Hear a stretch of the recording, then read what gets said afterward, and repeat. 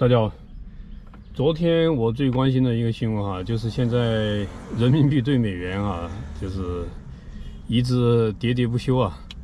昨天离岸人民币啊是已经跌到了七点二啊，就是说美元对人民币现在已经达到了七点二啊。想起前面几个月还是六点六左右啊，现在是七点二，我算了一下，基本上跌了百分之十了啊，短短几个月跌了百分之十啊。对于生活在国内的人可能感觉也不大，但是对于我们生活在海外的人啊，这种冲击啊还是非常强烈的。比如说你家庭财产有一千万人民币啊，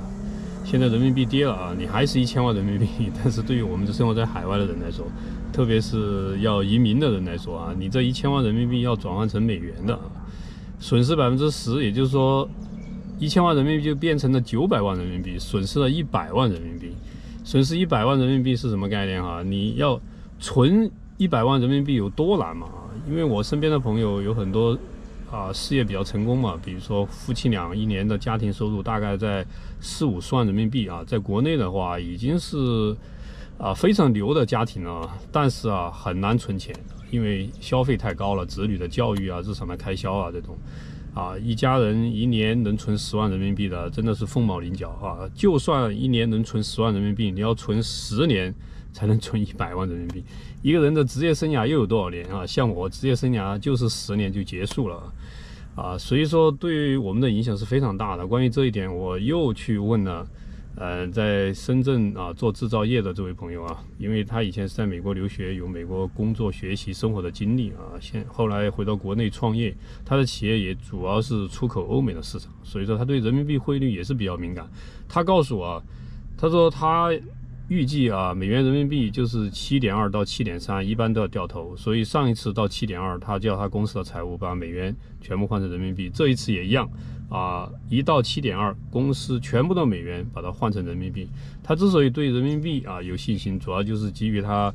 呃，在制造业行业，他认为中国的企业相对于欧美的企业有很大的一个独特的一个优势吧。呃，这一次他又举了一个例子啊，他直接在知乎上面看到，因为也是他这个行业里面，他也知道这是靠谱的啊，就是说。核磁共振的那个机器哈，以前技术都是掌握在欧美国家的手里面啊。买一台那个核磁共振的仪器啊，是天价，三千万人民币。但是最近一年，中国掌握了核心技术，生产出来的仪器跟欧美国家的差距不大啊。但是价格不到它的零头，只有两百九十多万人民币啊。所以说，这就是中国制造业的优势啊，并且他告诉我，他自己这么多年做。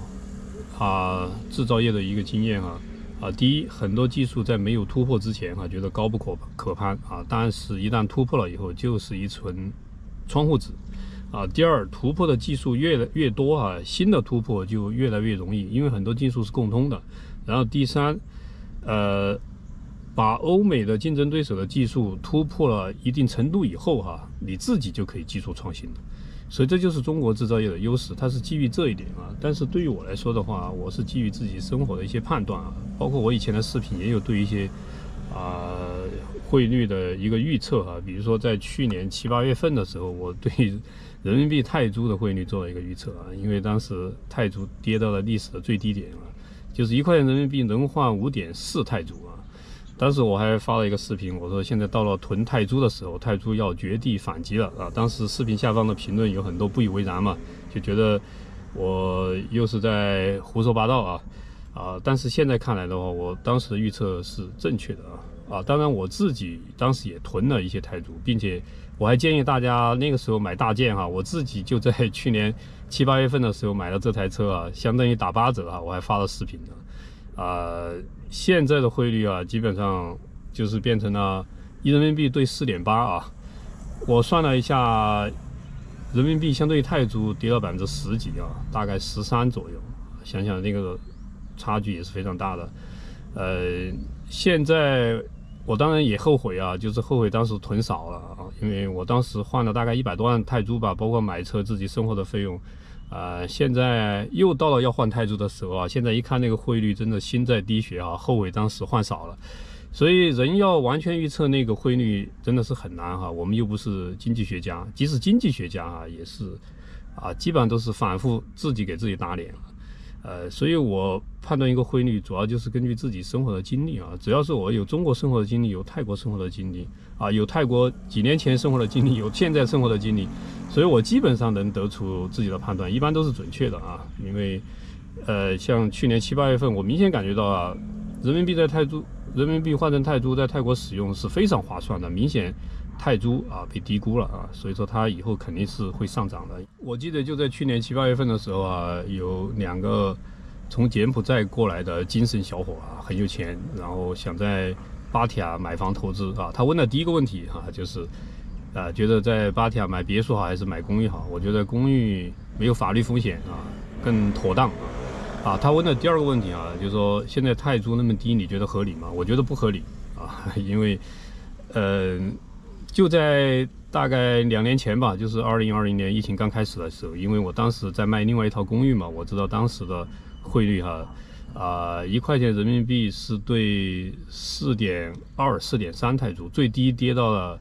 啊一比四点一泰铢啊，呃人民币的最低点啊，到现在泰铢的啊一个最低点啊，中间那个差价将近百分之二十、百分之三十，我觉得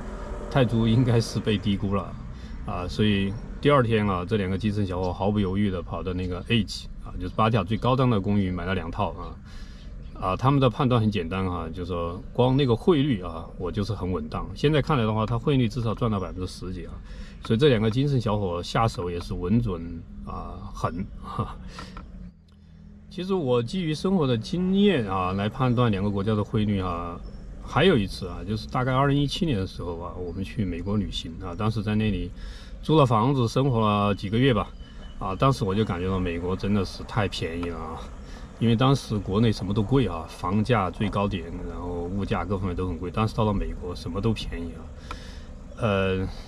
我当时住在拉斯维加斯嘛，当然租房的费用相对成都可能是贵一些，但是估计也就是跟那个北上广深一线城市的租金差不多啊，一千美元左右啊，可以租个一室一厅的一个公寓房子。啊，并且还是包什么水电气的啊，啊，像其他的费用那就是非常的便宜了，比如说加油啊，比国内好像二分之一到三分之一的价格嘛，好像加油的成本忽略不计啊。你如果在外面超市买东西回来自己做饭的话，像什么牛肉极其便宜啊，实际上蔬菜也很便宜啊，算下来做饭比在国内还便宜，在外面吃饭。外面到处都是那种福建人开的中餐自助餐啊，中午的时候大概九美元一个人啊，里面是有花椰菜炒牛肉啊，并且是上好的牛肉，在国内根本吃不到这么好的大片大片啊肥厚的牛肉啊。另外，呃，像什么左宗棠鸡丁啊，什么橙子鸡丁啊这些啊，呃，并且大虾也是免费敞量啊，呃，供应啊。所以说，在国内哈都吃不到这么便宜的九美元，按当时的汇率，当时的汇率是多少哈？一美元大概对六点三还是六点四人民币啊？算下来就是五十多块人民币啊，九美元，在国内是吃不到性价比这么高的自助餐的啊。呃，并且那个时候拉斯维加斯的房子，我当时还是看了一下，反正十万美元左右能买不错的一栋楼了啊，就是那种 house 啊。但是觉得美国真的是太便宜了。呃，所以我觉得美元哈是被低估了，但是呢，我换美元了没有啊？没有，因为我当时判断错了形势，在之前哈啊，把自己的人民币基本上都转换成美元了，砸在手上了，套住了。我大概就是一比七左右买的美元啊，那后来美元是跌到了一比六点三、六点四啊，我当时是血亏啊。呃，当然我那个美元持一直持有美元，持有不下去啊，因为。平时在国内生活要用人民币啊，并且美元当时是没什么利息的啊，当时人民币利息又很高啊，基本上你做一个好的理财，有时候达到百分之五、百分之六啊，你美元放在那里啊，汇率在贬值，然后利息哈每年损失百分之六，实在撑不住了啊。后来美元有所反弹的时候啊，我基本上就把美元抛光了啊，现在又到了一个轮回，现在又开始要买美元，但是啊，美元价格又那么高了。啊所以说人很难预测清楚，但是你通过自己生活的经历的话，大概能判断出中间的呃一些端倪吧。啊，当然有朋友告诉我啊，他说人民币因为是不是自由兑换的货币，它实际上主要还是国家说了算啊，国家说涨就涨，国家说跌就跌啊，所以说我们有时候也要根据啊国际关系啊，我看见一个规律啊，就是中国跟美国之间的关系啊，决定。人民币跟美元之间的汇率啊，两国关系差的时候，人民币往往都会跌啊。比如说像现在啊，两国关系好的时候，人民币就要上涨啊。那现在跌到那个位置，会不会啊触底反弹呢？实际上，从两国之间的互访也看得出来哈。现在美国的啊国务卿啊最近访问中国啊，当时我看外媒的预测哈，就说啊不会受到最高的接见啊，但是后来还是接见了。所以我也是觉得这也是一个信号吧，就是说现在中美关系已经到了谷底，还还能怎么更差哈？再更差的话，可能就是兵戎相见了啊！我觉得不太可能了，大家都没有这个意愿，所以最终的话，我觉得当然要回升到以前啊蜜月期那是不可能的，但是啊触底反弹还是有可能的。所以基于这些判断吧，我觉得确实美元对人民币到了七点二、七点三，也基本上快到头了。不知道我的判断对不对啊？大家可以评论，可以拍砖。好，这期视频就分享到这里，谢谢。